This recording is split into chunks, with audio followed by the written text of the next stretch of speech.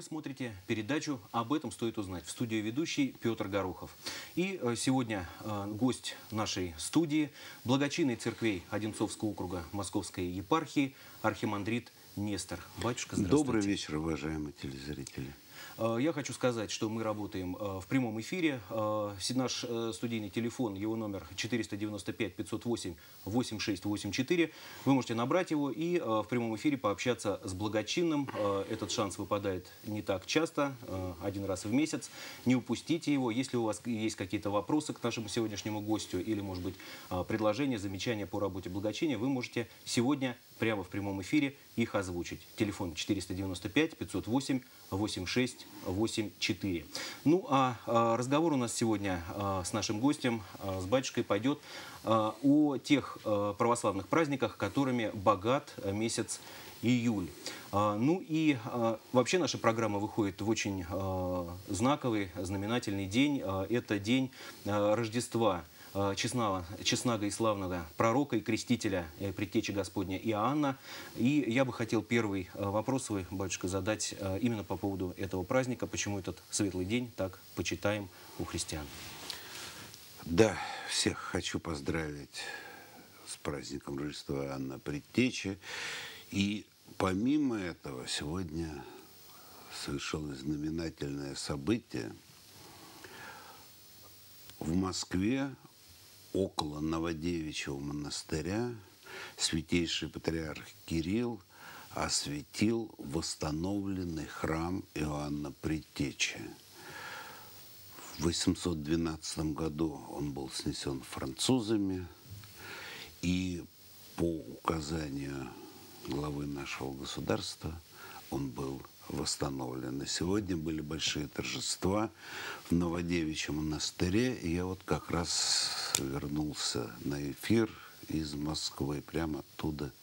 Э, Служба была большая, потом общение было. Итак, сегодня праздник Рождества Иоанна Предтечи. Это один из великих праздников. Э, В церкви празднуется Рождество Иоанна Предтечи, усекновение главы Иоанна Предтечи, несколько праздников. Почему?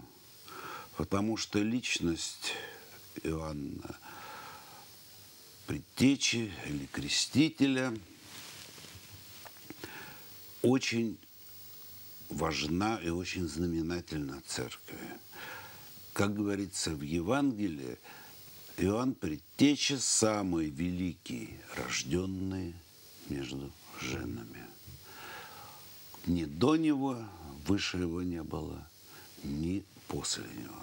Батюшка, у меня э, небольшой, я вас прерву, у нас есть телефонный звонок, и давайте мы не будем держать нашего телезрителя Давайте. на линии, да, ответим и продолжим. Давайте. А, Здравствуйте, э, задавайте ваш вопрос, представляйтесь, вы в эфире.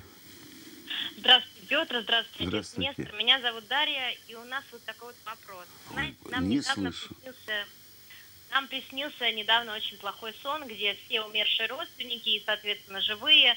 И во сне живой человек говорит там, накройте мне стол через три дня. И вот мы все время об этом думаем. Вопрос у меня такой, как церковь относится к нам и как это трактовать? Спасибо. Спасибо, спасибо за вопрос, батюшка. Не совсем услышал. общем, Да, я, насколько я понял, не очень хороший был сон, в котором и здравствующие родственники, и умершие присутствовали, как-то взаимодействовали, да, и вот э, прозвучала дата, что может случиться через три дня, и вот тут наша телезрительница волнуется, стоит ли обращать внимание на это или не стоит. Что об этом думает церковь? Я вам отвечу одну такую вещь. Принципиально надо понимать, что если человек с Богом, то ему никто и ничто не страшно. Если человек верит в приметы, в предсказания, вот в эти сновидения, потому что сновидения могут быть от Бога, а могут быть от лукавого. Если сновидение от Бога, то это, это откровение. Если от лукавого, и человек боится этого, значит, он попадает под власть лукавого.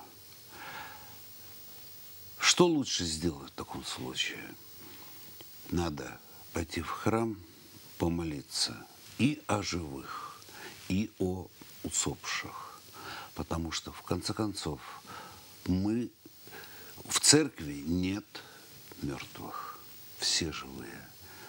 И если мы вместе сидим за столом э, с своими усопшими родственниками, так это что, это же неплохо. Мы общаемся, продолжаем общаться. И сон об этом говорит. Если говорит, что вот будет вам плохо, ну, знаете, я вам советую, сходите к священнику, посоветуйтесь, более подробно ему расскажите. Но по-любому надо регулярно исповедоваться и причащаться. Тогда вы будете со Христом, и тогда никакие страхи вас уже не могут над вами владеть. Вот так бы коротко бы ответил. Ну что ж, я думаю, я думаю вопрос, э, вопрос исчерпан в вашем ответе. А, ну и так продолжим все-таки у пророки предтечи и крестителя Господня. Да. Самый великий человек, рожденный, как говорится в Священном Писании, между женами. Ни, вы, ни, больше, э, ни до него, ни после него уже такого нет. Он подготовил приход Мессии. Он проповедовал покаяние народа. Сегодня празднуется его Рождество. Как э, повествует Священное Писание, был Захария, священник, и его жена Елизавета – дожили до преклонного возраста, у них не было детей, и было откровение от Архангела, что говорило, что родит сына, и он станет великим. Захария удивился, как я рожу, то ведь уже в преклонном возрасте. И у него было запеч... Э, поэтому, поскольку он не поверил Архангелу было он стал немой до рождения сына. Родился сын. Кстати, э, Священное Писание указывает, что близких отношениях Богородица приходила перед рождением когда, Спасителя к Елизавете, они общались. Вот. И когда родился сын, спросили, как назвать. И Э, Захария написал на листке, что имя ему Иоанн. И тот час он стал снова говорить. Это говорит нам Священное Писание. Иоанн Предтеча был очень выдающейся личностью в Древнем Израиле. К нему, стекались толпы людей – и он проповедовал покаяние и крестил их в Иордане крещением покаяния. Иисус Христос также крестился. Что такое покаяние? Ну вот в нашем понимании, э, как мы очень понимаем это слово покаяние, это просто вот осоз, э, осознать свой, свою неправоту, неправоту покаяться в этом. Но в греческом тексте используется слово метаноя, которое имеет более широкое значение. Это и покаяться, и одновременно исправиться. Очиститься. Исправить свое поведение, жить по-другому. Покайтесь, осознайте и вступайте в жизнь новую. И вот постоянно церковь это проповедует, что если вы приходите каяться, вот исповедь, это значит, что каждый раз вы должны сделать какой-то шаг в исправлении своей жизни. Иначе это уже неполноценное покаяние. То есть этот праздник э, напоминает нам еще раз о необходимости исправления. Строже, строже к себе относиться. Да, исправления своей жизни, осознание своей. То, что плохо – исправлять с тем, чтобы было лучше в жизни нашей. Еще один знаменательный день, июльский, это день памяти э, святых Петра и Февронии Муромских, э, приходящийся на 8 июля. Э, у нас достаточно давняя уже традиция российская праздновать в этот день и День э, семьи, любви и верности. И вообще сегодня пример вот этих отношений Петра и Февронии, он все чаще и чаще приводится в пример, вспоминается. И вот кажется, что, наверное, в современном обществе есть, наверное, определенный запрос на такие э, чистые, не завязанные на материальные взаимоотношения, отношения мужчины и женщины. Да, вы правы. Это очень важная и актуальная проблема для нашего народа. Пример Петра и Феврония – это пример того, как, должна стро... как должны строиться семейные отношения. В Священном Писании говорится, что муж и жена двое в плоть едино. Это одно единое целое. Только так можно э, э, охарактеризовать семью. Сейчас, к большому сожалению, для многих людей понятие семья как бы э, стерлись границы. Семья подразумевает это, вот, гражданский брак. Да, вот, кстати, вот это появился такой вот термин. такое понятие. Это нонсенс. Вот те люди, которые говорят, я живу в гражданском браке, говорят глупость. Жить в гражданском браке это знач, означает жить в браке, зарегистрированном гражданскими властями. Есть церковный брак, а есть гражданский брак. То, что подразумевается сейчас под этим термином, это просто называется сожительство, прелюбодейство, как угодно. Но это не семья. Если люди не оформляют свои отношения и придумывают какие-то поводы для этого, уверяю, что вот мы должны э, сначала попробовать, как мы сойдемся, Подходим ли мы подходим друг другу. и не подходим, и только потом решим. Вот.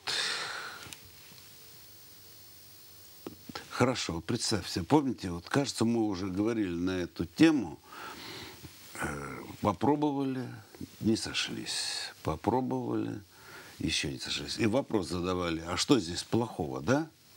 И ответ был, ну, конечно, кто-то любит новые машины, но навряд ли кто-то захочет брать машину, которую уже попользовался пол, полгорода.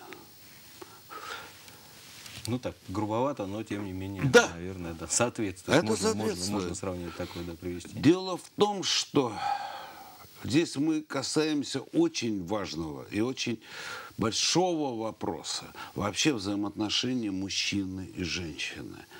Ответить вот так коротко на это не представляется сейчас возможно. Может быть, даже посвятить вот специальную передачу отдельно это, э, тематике. Когда люди сходятся и расходятся, они забывают еще об одной очень важной проблеме – о детях. Неполноценная семья – это бич нашего общества. Я хочу сказать, что и в гражданском браке дети рождаются реже. Ну, как бы люди реже решаются на такой шаг, потому что это отношения все равно недооформленные. И как оно будет, сойдемся или не сойдемся, о каких детях можно говорить. Да? То есть, в принципе, это и на это влияет еще. А я вам скажу же, ведь для того, чтобы вот сойдемся, не сойдемся, в церкви всегда был институт обручения, жених и невеста. Полгода был период, когда минимум вот э, жених и невеста объявлялись женихом и невестой, обручались кольцами,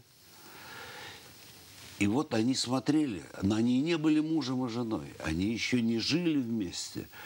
и смотрели, как они подходят друг к другу.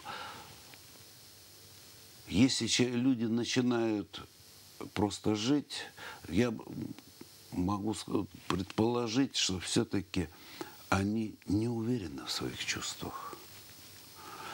А вот это сожительство используют для удовлетворения своих физиологических потребностей. И это, в конце концов, получается, ставится во главу всего угла. Но тем не менее, вот мне кажется, что идет э, все равно, растет авторитет и, э, скажем, этого праздника, да, и все чаще и чаще именно этот пример приводят молодым, как пример правильных отношений, таких, какими они должны быть. Все-таки, значит, может быть, общество с этой точки зрения выздоравливает, движется в нужном направлении? Я думаю, да, начали ос осознание того, что брак – это что-то другое, это не просто сожительство. Всегда ведь это на Руси э, брак это считалось святое. Я вот сейчас только хочу очень коротко коснуться – вот проблема беспризорности, которая была в 20-х годах, это же ведь не только последствия гражданской войны, но это последствия той новой морали, которая была привнесена. Возьмите Калантай. Она проповедовала полностью свободу любви. То, что на Западе вот было так называемая сексуальная революция, конец 50-х, 60-х годов, у нас это было пройдено 17 19 20 годы. Ну и тем не менее общество это отвергло, в конце концов. Да, да. Ну, бывает так, что вот пока не обожжешься, не понимаешь ценность того, что чего потерял. Ну и э, еще один э, праздник июльский, э, это 10 июля, мы отмечаем обретение мощей преподобного Амвросия Оптинского. Э, жизнь этого святого угодника Божия настолько же интересна, насколько и поучительна. И в связи с этим вопрос, вот такой вопрос, который очень часто э, звучит и в личных беседах, и в интернет-пространстве. Есть ли в современной России старцы? Да, ведь в Одинцовском районе в частности, да, э, потому что очень многие хотели бы, например, пообщаться со старцем, пообщаться со святым человеком, э, получить какие-то наставления, э, что-то узнать для себя, может быть, новое, да, и всегда к людям, которые обладают вот этой силой духовной, всегда к ним большой интерес проявляет общество, всегда к ним некое паломничество и так далее. Вот в современной России есть ли старцы в том понимании, в каком мы говорим об Амвросии Оптинском? Э, так, вот теперь надо сначала вернуться к самому понятию, что такое старец, что такое старчество. В церкви, вот если мы говорим о церкви, церковь знает трехступенчатую иерархию диакон, священник, епископ. Во главе всего стоит епископ.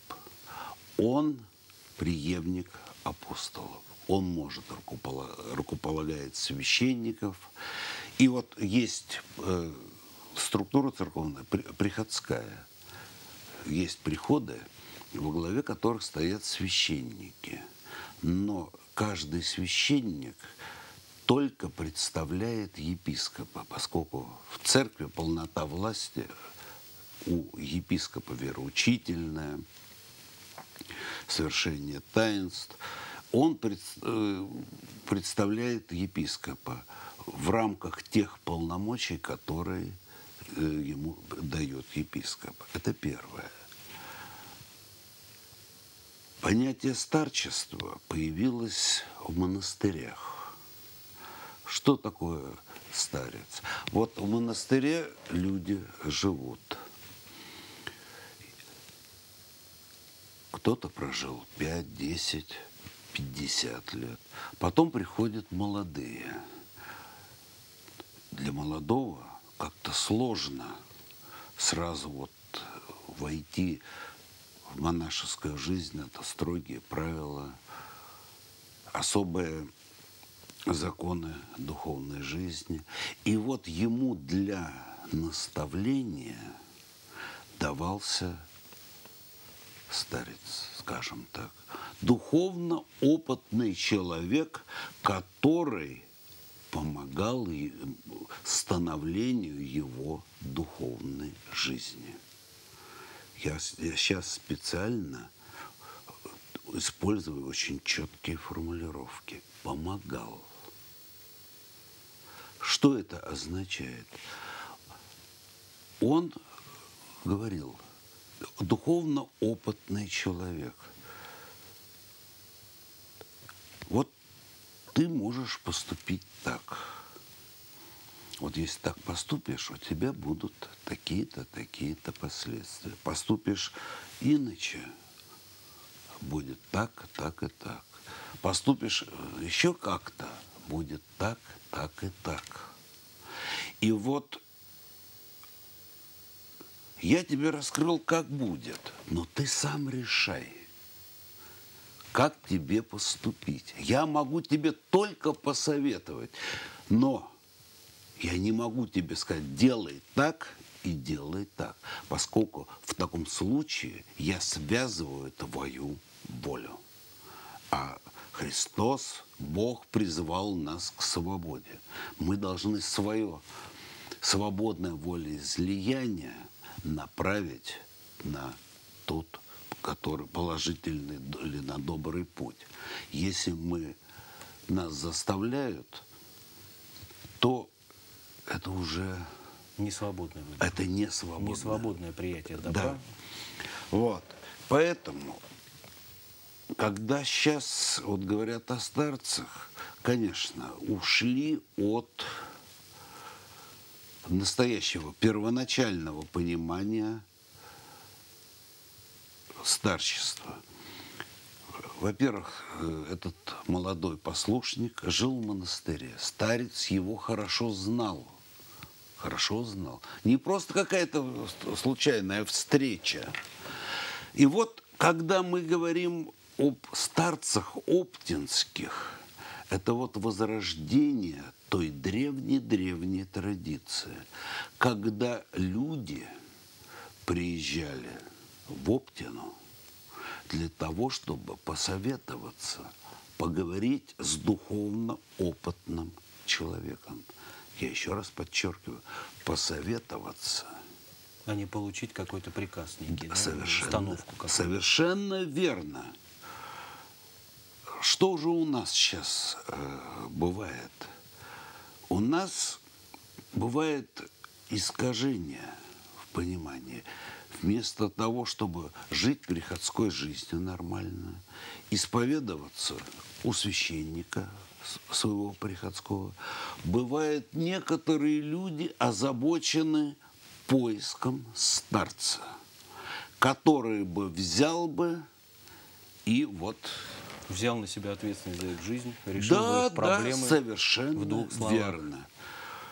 Но надо ясно понимать, что священник не должен приказывать. Это вот если встречается такой священник, который говорит, что вот ты отныне, мое духовное чадо, должно, должен или должна исповедоваться только у меня. Это уже сектантство какое-то. Это получается. сектантство. В церкви даже сейчас появился такой термин «младостарчество». То есть те, которые прельстились, думая, что они духовно опытные люди духовно опытный человек никогда не свяжет человека. Он только поможет ему раскрыть себя, посоветовать. И то тогда, когда он его хорошо знает. А то бывает такое, что первый раз встретил человека и начинает ему говорить, делай так, делай или не делай так. Конечно, есть общие какие-то принципы, когда можно сказать. Но вот когда говорит, вот выходить мне замуж за того или за другого, ну, ну, но это уже... Это Сергей или Зам- Замишин, например, Да, это уже смешно. Ну, вообще, это интернет, скажем, полон э, историями о, о том, что люди, пообщавшись с такими людьми, да, духовно опытными, которых называют старцами, получали ответы на все вопросы, и некое э, снисходило какое-то какое прозрение там и так далее.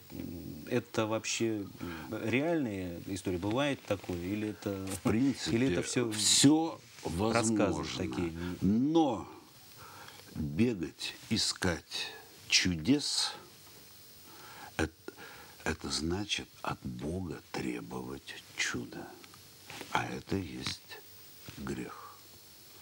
Надо жить духовной жизнью. Помните, как вот э, искушал Спасителя на горной проповеди, что сотвори, э, накорми всех. Чудо, сделай чудо. Церковь говорит, мы к Богу идем не для чуда. Мы с Богом хотим быть, потому что мы любим Его. Мы хотим быть, это наш Отец.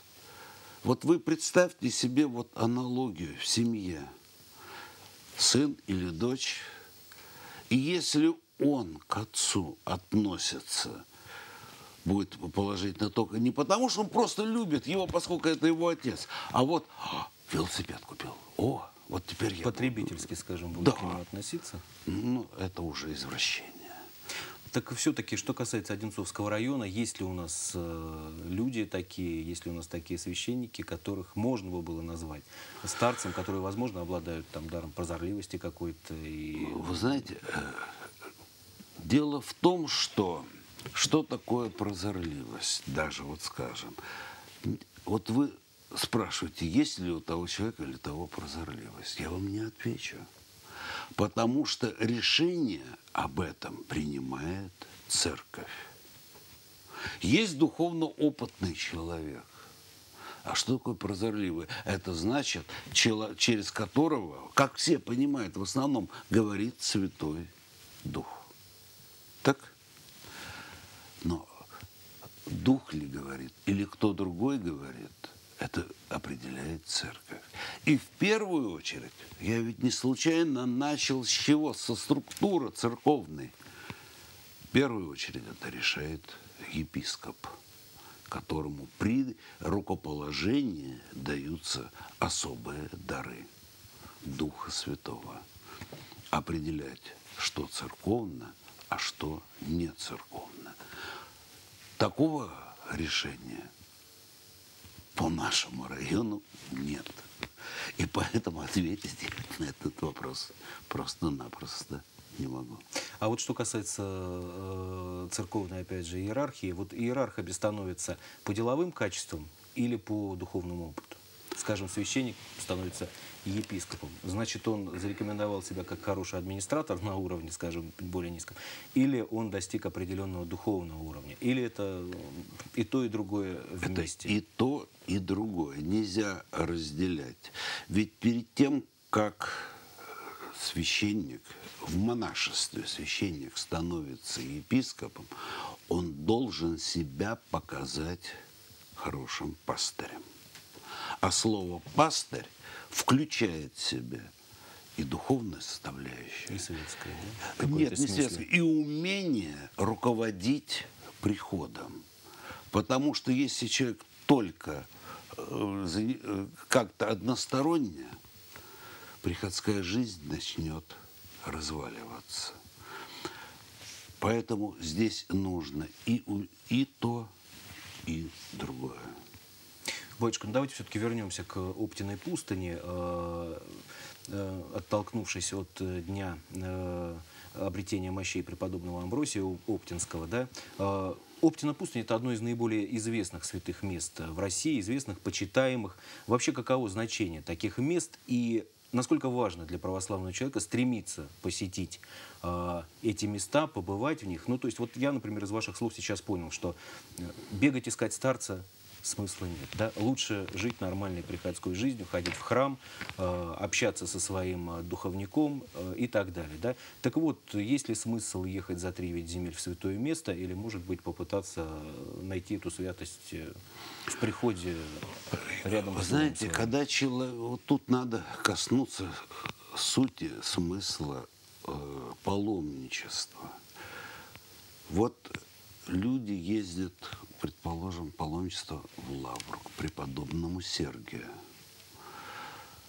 Когда вы входите в Лавру, вы сразу чувствуете особый дух, Намоленность, то, что намоленность. И вы приобщаетесь даже к самой этой намоленности. Вне зависимости от того, есть там старцы или нету старца. Если вы едете в паломничество приобщиться вот этого, этого, этого духа, это одно. Если же вы ездите в паломничество для того, чтобы найти себе, скажем так, человека, которому вы, чтобы он отвечал за вас, то это, ну, во-первых, скажу сразу, как часто вы будете ездить в такие паломничества? Не каждое, не часто. И если вы кого-то выбрали, вы уже априори говорите, о, значит, да, вот он духоносный. Значит, вы на себя берете смелость решать, духоносный или не духоносный тот или иной священник. Все священники после рукоположения получают благодать Святого Духа. Вот.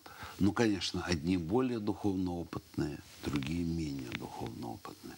Поэтому, опять возвращаясь, если ехать в Оптину пустынь, приобщиться вот тому духу, который создали старцы оптинские, это одно. Действительно почерпнуть их благодать. Если же заняться беготней поиска старца, это значит растерять все, что и так накопили. Ну, я думаю, что если ехать, например, в ту же Оптину пустынь с правильным настроем, Да, э, пытаясь стяжать э, духа святого, святаго хоть немножко, да, то возможность какой-то чудесной встречи, она, наверное, намного духовного выше. опыта э, п- Да, э, чем, э, чем если утилитарно так, знаете, Да. как сейчас говорят, э, нет у тебя знакомого старца, да, как это, как говорят, нет у тебя автомеханика, да, вот, чтобы там совершенно душу верно. мне починил чуть-чуть, там помог, э, то Да. есть это. Ну и еще в двух словах все-таки время нашей передачи подходит к концу. 18 июля, раз уж вы упомянули э, Троице Сергиеву Лавру, э, Сергия э, преподобного игумена Радонежского 18 июля это обретение э, мощей. Э, Вопрос. а, Возможно ли сегодня э, в России э, появление таких людей, вот, настолько мощных по духу, или э, только со временем э, можно понять, что человек, например, который наш современник, был сопоставим по вот, э, духовным своим возможностям, например, с тем же Сергием Радонежским, объединителем земель? И так отвечу вам. Дело в том, что дух дышит где хочет. И мы не можем Духу Святому поставить какие-то рамки. Вот ты дыши, предположим, до 15 века, вот там пусть появляются преподобные Сергии, а в 20 или 21 веке нет, уже все глупость, ересь. С другой стороны, преподобный Сергий при жизни пользовался большим авторитетом. Но всегда в церкви существует временное какое-то расстояние. Вот когда человек скончался, должна бы пройти рецепция, как говорят, церковная, осознание того, что человек этот святой. И происходит канонизация. И